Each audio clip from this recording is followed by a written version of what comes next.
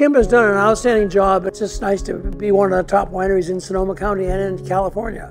I don't think I realized how unusual that is. You know, I grew up at this winery. I really didn't realize it at the time, but I've become very aware of how my father treat me just completely equal to any of the men that worked here, but he did the same for the female winemakers that came through Dry Creek Vineyard. And you know, my father, he just believed in talent and hard work. I never really thought about it, but my father did encourage me very much since I was a small child just to do my very best.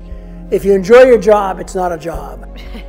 taught me so many things and then he didn't teach me things and he said, go figure it out on your own, Kim. And I did. And I think that's probably one of the greatest lessons that I've learned from him and one of the greatest gifts. He had two daughters. You know, females were just as capable as males and it didn't matter, you know, who you were. You just needed to be hardworking and talented and persevere and be willing to take risks and try and all of the things that I think he did when he was in his youth starting the winery. So I'm really, really, really grateful to the opportunities that my dad gave me and I'm really proud of the opportunities that he gave to the, the females that have worked here at Dry Creek Vineyard and in particular the women winemakers. Whatever you do, enjoy it. Make sure you enjoy it.